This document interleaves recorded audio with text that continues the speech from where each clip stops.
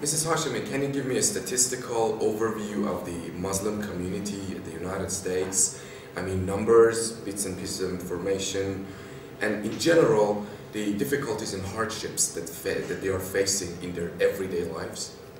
Bismillah ar-Rahman uh, well, to be honest, uh, I don't have the actual statistics with me this morning, um, but I can give you an overall view of the situation. Um, and as a matter of fact, we don't have accurate statistics to begin with because the census there, um, uh, it's not in the government's uh, benefit to actually give the real figures because the uh, the speed of which the Islamic community is growing in the United States is unbelievable. It's intimidating for them, right? Well, it, yeah, it's, it's not, not very good for them. Uh, um, and after 9-11, it's grown uh, exponentially, uh, so much faster than it had prior to that. Um, so because it kind of goes against the agenda, the agenda that is being carried out to uh, destroy uh, Islam and to basically paint a negative picture about Muslims, so it does not fit in their agenda.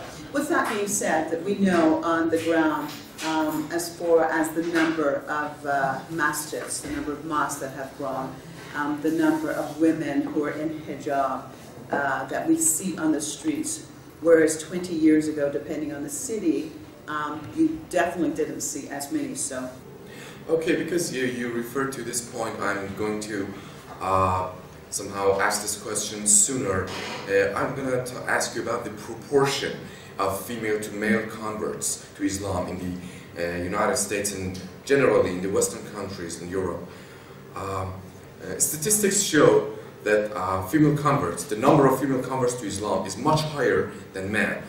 And can you explain about this? And why is it, what is this element in Islam that attracts women? Because it's the females that really have been the most oppressed. And in general, Islam is a religion um, that first and foremost track, attract those who are oppressed.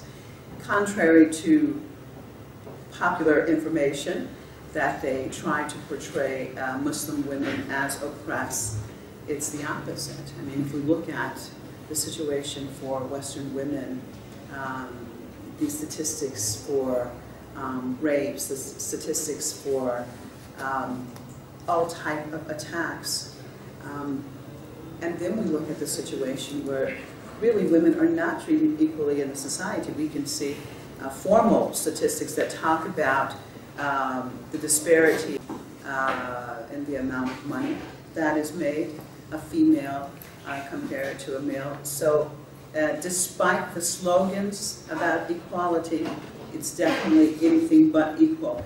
And always the, uh, the pressure um, is on the female. So when Islam offers them a whole new definition of humanity, a whole new definition of what it means to be a female that had been defined in terms of uh, physical beauty or attraction, that their worth is that much. But Islam says something else that, as a matter of fact, that's not important. What is important is who you are as a person, your personality, um, who you are here, how you think. It raises the level of humanity. And so that's quite attractive to women.